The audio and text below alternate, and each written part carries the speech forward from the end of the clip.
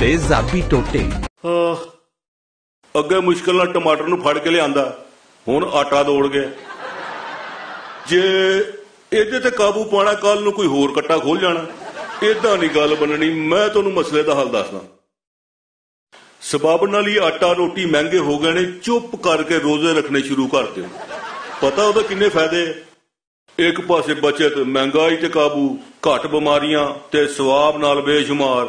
Gas ਦੀ ਬਚਤ ਬੇਗਮਾ ਖੁਸ਼। ਉਤੋਂ ਮੈਂ ਜਿਹੜੀ ਰਿਆਸਤ ਮਦੀਨਾ ਦੀ ਤਾਮੀਰ ਕਰ ਰਿਹਾ, ਉਹ ਚ ਅਹਿਮ ਕਦਮ ਸਾਬਤ ਹੋ ਜਾਏਗਾ ਤੇ ਰਾਵੀ ਸਭ ਚੈਨ ਲਿਖ ਦੇਗਾ। ਦੇਖੋ ਆਟਾ ਤੇ ਹਲੇ ਮਹਿੰਗਾ ਹੋਇਆ। ਪਰ ਯਾਦ ਰੱਖਣਾ, ਹਲੇ ਨਾਯਾਬ ਵੀ ਹੋਣਾ ਇਸ ਲਈ ਫਾਕੇ ਹੁਣੇ ਤੋਂ ਸ਼ੁਰੂ ਕਰ ਦਿਓ। ਨਹੀਂ ਤੇ ਮੇਰਾ ਕੀ ਜਾਂਦਾ? ਹੈ? ਇੱਕ ਕਮੇਟੀ ਬਣਾ ਦਾਂਗਾ, ਇਨਕੁਆਇਰੀ ਹੋਏਗੀ, ਮੁੱਦਾ ਕਿਸੇ ਤੇ ਪੈ ਜਾਏਗਾ। ਯਾਦ ਰੱਖਣਾ, ਇਸ ਮੁਸ਼ਕਲ 'ਚ ਤੁਸੀਂ ਆਪ ਹੀ ਨਿਕਲਣਾ। ਹੈ। ਤੇਜ਼ਾਬੀ ਟੋਟੇ